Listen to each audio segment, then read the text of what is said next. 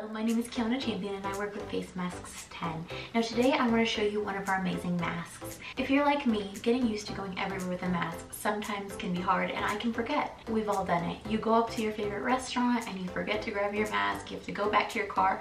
Sometimes maybe it's not even in your car. But we are here to solve that problem. This is called the wallet mask. This mask can fit in virtually any sized wallet. And all you have to do is take it out.